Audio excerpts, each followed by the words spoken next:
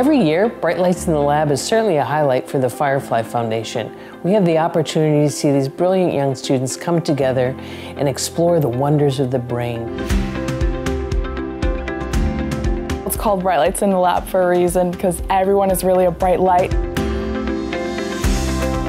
As a teacher, there's nothing more fun than hearing that yes in the background when something worked for them. When they designed an experiment, carried it out, and they saw that end goal achieved, it's just really, really enriching to see.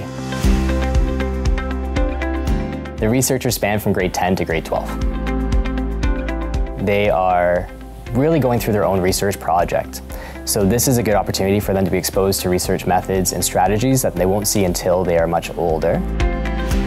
This program is honestly much better than science class. This is very hands-on. We can ask various questions and it really feels like it's a comfortable learning environment. Collaboration is a very big part of the experience. It does mimic how real researchers do their experiments. The students are just great, so kind-hearted, so welcoming, so eager to learn like me, so I feel like I could relate to everyone, and the teachers and the staff has been really patient. The Explorer group ranges from grade 7 to grade 9.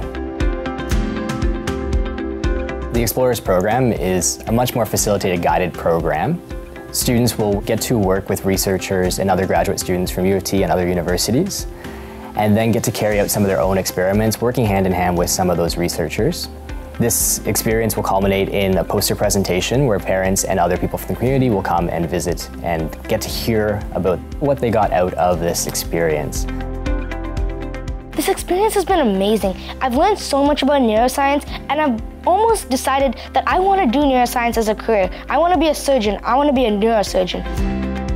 I was already really interested in science before I came to this camp, but uh, I don't know how, but this camp has actually made me even more so. I now really think of neurosurgeon as a viable career option, and I really never thought I could be able to do that before. Because there was such interest from younger students in our programs, we added the animator program for students that are under grade 7. Students get the opportunity to think about a topic that they think other students and their peers should know more about the brain, and then get to design a project and a movie to explain that to their peers and just start that conversation about that science, about that topic. It's um, really awesome because it merges like two of like my favorite things, so like science and art. As a storyteller, you kind of have to know what it's about first before you teach people, and so you really have to know in depth to get it across to the audience so they can learn too. Without the scholarship, these students wouldn't be able to come to our camp.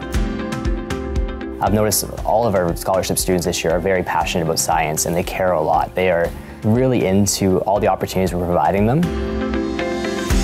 So definitely one of the best things about this camp is getting to work with the Firefly Foundation and our other donors that have generously donated scholarships, including Agnico Eagle and Bayer Canada.